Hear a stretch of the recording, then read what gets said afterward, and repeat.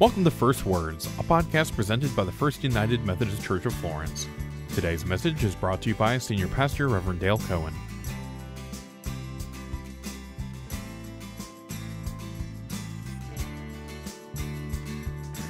The gospel lesson that Calvin read for us just a moment ago reminds me of a story that Winston Churchill used to love to tell. A little boy fell off of a pier into some deep water there was a sailor, old sailor, close by, with no regard for his own life, dove in, went under, had to struggle to bring the boy back up to the surface, and then get the boy back up safely on the pier. Well, a little bit later that day, the boy's mother came looking for whoever it was who saved her son. And when she found the sailor, and she asked, Are you the one who saved my boy? And he said, Yes, ma'am, I am. And she said, Well, where's his hat? In our scripture, Jesus is on his way to Jerusalem when he encounters a small community of lepers somewhere near the border of Galilee and Samaria. Now, the more modern translations say skin disease, but the older translations refer to them as lepers. Uh, this was not uh, the Hansen's disease type of leprosy, the bacterial infection that we know of as leprosy today. It could have been any irritating skin condition that reddened, infected, or caused inflammation. If we use the biblical understanding of this skin disease today, the protocol for leprosy would apply to anybody with rosacea, eczema, impetigo, shingles, or even athlete's foot. What these 10 men have in common is that they're stuck in a challenging situation. They live on the margins, they're outcasts, they're considered socially, religiously, and physically unclean. They can't work, they can't interact with others, they don't live the same kind of life that everybody else lives. They're entirely dependent on the mercy and the goodwill of others. So when they see Jesus coming, they think there's an opportunity for things to change. The scripture says, keeping their distance, they called out, saying, Jesus, Master, have mercy on us. The lepers show respect by keeping their distance as required by the Mosaic law. The book of Leviticus says this the person with the defiling disease shall wear torn clothes, and let their hair be disheveled. And he shall cover his upper lip and cry out, Unclean, unclean. He shall remain unclean for as long as he has the disease. He shall live alone. His dwelling shall be outside the camp. Now, we don't know if these 10 men thought that Jesus could heal them or whether they were just simply going to ask him for money so that they could buy food. However, Jesus, when he saw them, he said to them, Go and show yourselves to the priests. And as they went, they were made clean. The reason that Jesus sent them to the priests was because they would confirm the men's healing they would, uh, once they received confirmation, the men would then have to offer a purification sacrifice. And then, when the sacrifice was complete, the priest would give them a certificate of cleanliness that they could then take back to their community, which would allow them to go back home with their family, to interact with others, and to go back to work. On their way, though, to find a priest, they discover that they've been healed. Verse 15 says Then one of the ten, when he saw that he was healed, turned back, praising God with a loud voice. He prostrated himself at Jesus' feet. He laid face down at the feet of Jesus and thanked him. And he was a Samaritan. Well, Jesus healed all ten, but only one returned to give thanks. Luke reveals, and I'll leave this up to you to determine why this is an important fact, but Luke says this guy was a Samaritan, someone despised and hated for his mixed race. He is the only one who returns offering gratitude to Jesus. And so then Jesus asks him, We're not ten made clean, so where are the other nine? Did none of them return to give glory to God except this foreigner? Then Jesus said to him, Get up and go on your way. Your faith has made you well. Now, let's be fair. It's quite possible that the other nine had intended that once they got their certificate, that they would come back and find Jesus and offer their gratitude. I mean, it could take actually a couple of days because first they would have to find a priest, and then the priest would have to inspect them according to the Levitical law. Then they would have to confirm that they were clean. Then they would have to go and make their sacrifice, and then they would get their certificate. So maybe they were going to come back. But it's this one guy who immediately returns to Jesus to offer his thanks and his praise. Gratitude is more than being thankful. According to clinical researchers, there are two stages of gratitude.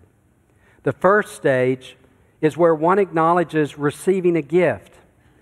And not only does the gift bring them joy, but the thought that somebody went to the effort to choose a gift brings them joy. That's the first stage of gratitude. The second stage of gratitude that a lot of us never get to is fully recognizing that the source of the gift lies outside ourselves. In other words, we have nothing to do with why that gift was given to us.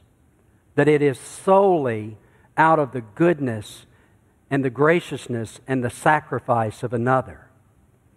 It's not because of us, but it is for us.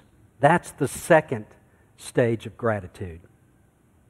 In Deuteronomy, God challenged the Israelites to remember his gifts when they prospered in the Holy Land that he had promised them.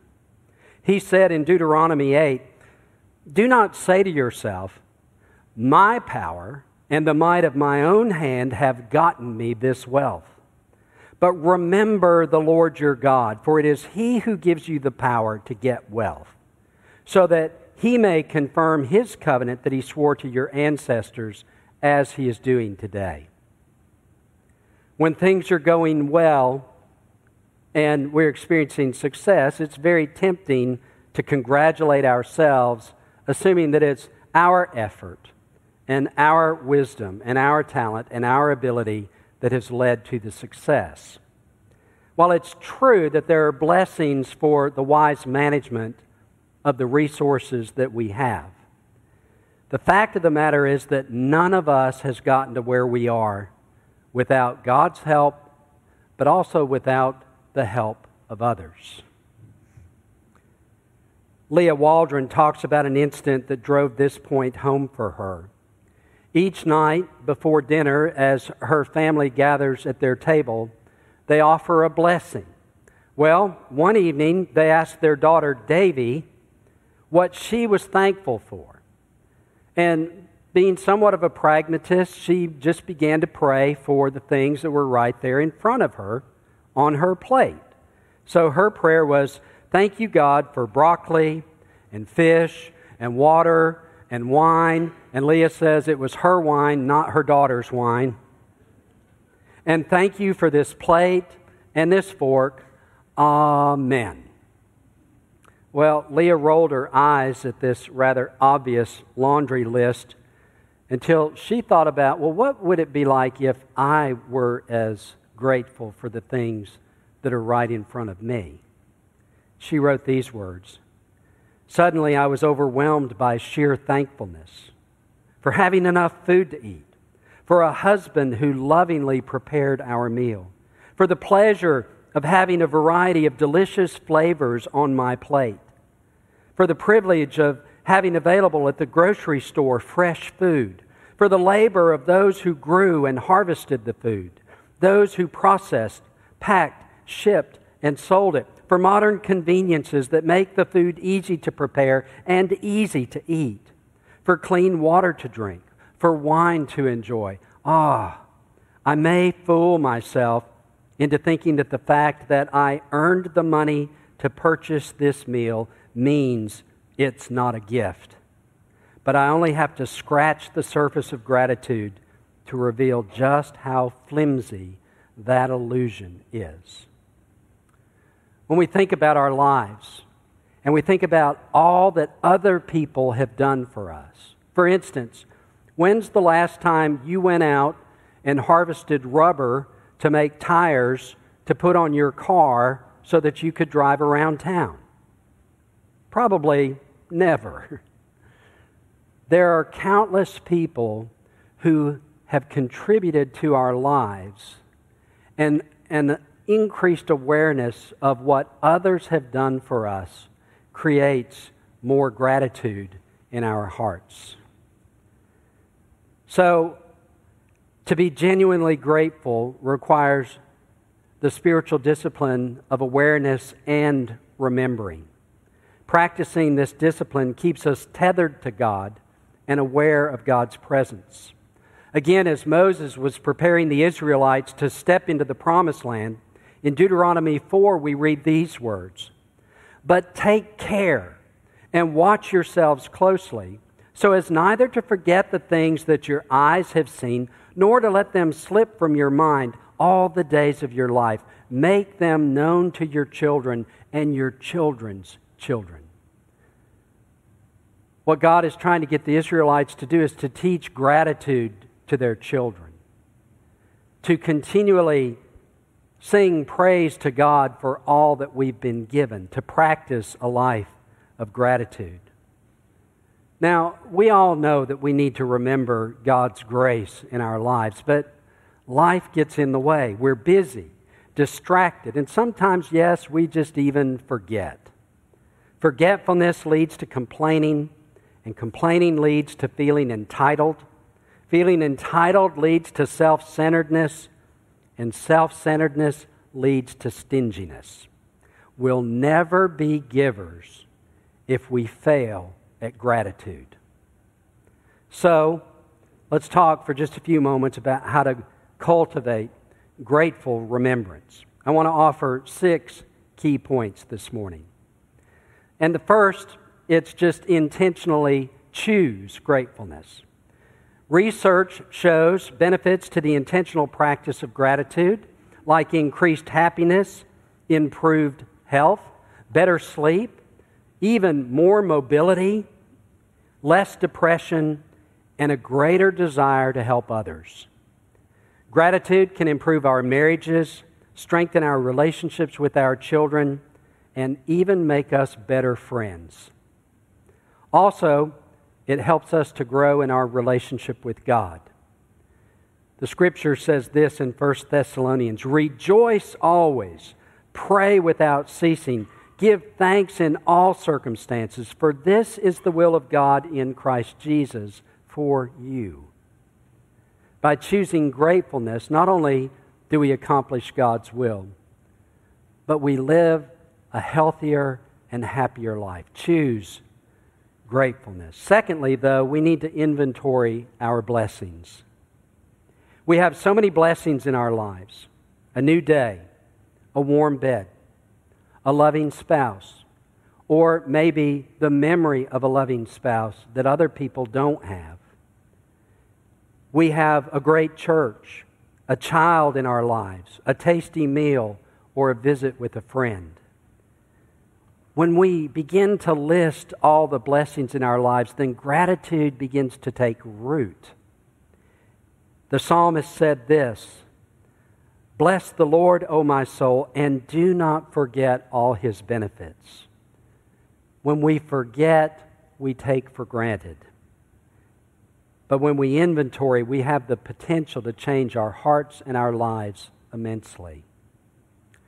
The third key is to abandon a deficiency mindset for a sufficiency mindset.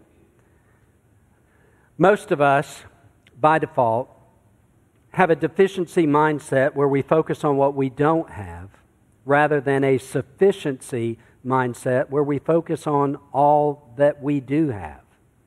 We're a product of our culture that capitalizes on discontent. Consumer culture doesn't want us to be grateful because to be grateful means you're satisfied. Consumer culture needs us to be unhappy so they can sell us a solution. Well, we have everything that we need in Jesus Christ. Paul declared this in Philippians 4 My God will fully satisfy every need of yours according to his riches in glory in Christ Jesus. Again, you've heard me say this before God doesn't supply our every want, but God can supply what we need, and that will be enough. That is what we can be grateful for. The fourth key is to embrace humility. Why? Humility is necessary for gratitude because without it, we tend to think that we've accomplished more on our own than is accurate. We downplay God's role, we downplay the contributions of others. True humility comes from remembering that there is a God and we're not it. The scripture in James says this Do not be deceived, my beloved brothers and sisters. Every generous act of giving with every perfect gift is from above, coming down from the Father of lights, with whom there is no variation or shadow due to change. Without humility, when life is going well, we feel entitled. But when life is going bad, we feel slighted and neither of those are helpful. We need humility to recognize the hand of God and others at work in our lives. The fifth thing is that we need to compare ourselves to those with less, not more. I already mentioned how our consumer culture keeps us unhappy because we don't have. Well, comparing ourselves with those who have more adds to this discontent. However, when we look at those with less, it challenges us to ask the question Am I doing everything I can with what I have? One of the most condemning stat- statistics is that poor people give a greater percentage of their income to others than those of us who are comfortable. Poor people give a greater percentage of their income to others That is surprising. But it's true. Hebrews says this keep your lives free from the love of money and be content with what you have. For God has said, I will never leave you or forsake you. If we must compare ourselves with others, then let's compare ourselves with others who inspire us to be more grateful and to be more generous. And that will make a difference in our lives too. The last thing is to look for God in our difficulties. It's easy to be grateful when things are going well. However, it's more challenging to thank God during the difficult days, like when we experience the death of a loved one, or illness, or disease, or rejection, or failure. No one is exempt from trouble. Everybody faces trouble at some point. But God is always at work amid the strife. But we have to have grateful eyes to see where God is at work. Romans says this We know that all things work together for good for those who love God, who are called according to his purpose. Embracing gratitude during our difficult days helps us focus on where good things are happening, not just on the difficult things, but on where the good things are happening. And that creates even more gratitude for what God is doing in working on our behalf, no matter what the circumstances. Now, I said I was going to give you six key points, but I want to give you a bonus point today. In living life on purpose, Greg Anderson talks about a friend whose wife left him, and this friend became very depressed and angry.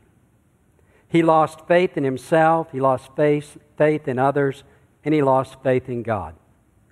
One rainy morning, he went to a small neighborhood diner, and although the place was, was busy, it was really kind of quiet because everybody in there was keeping to themselves. It was like everybody in there was in their own little world. Well, in a small booth, there sat a young mother with her little girl, and the little girl broke the silence as the waitress brought food to her table, and she just kind of blurted out rather loudly, Mama, why don't we say our blessing here? And with that, the waitress turned back around toward the table and she said, Well, we can say a blessing. Would you say it for us? And the little girl agreed. And the waitress turned back around, faced everybody out in the restaurant, and said, Bow your heads. Well, after a moment, everybody kind of gathered themselves, put their forks and knives down, and bowed their heads. And the little girl folded her hands and said, God is great. God is good. Let us thank Him for our food. Well, the whole atmosphere in the diner changed. People began to talk to one another, and there was energy in the room. And the waitress even said, We need to do this every morning. Well, the sad man told his friend Greg, all of a sudden, my whole frame of mind started to improve. From the little girl's example, I decided to thank God for all that I have and stop focusing on what I'd lost. And I started to be grateful. So, this is the bonus point here. Hang out with grateful people. If you hang out with people who are grateful, it's infectious, and you're going to be grateful too. Cling to those people who positively impact your life and help you to discover God's grace anew. In the name of the Father, and the Son, and the Holy Spirit. Amen and amen. Thank you for listening to First Words. For more information about our services or how to get involved in our community, visit us at fumcflorence.org or facebook.com slash florencefumc.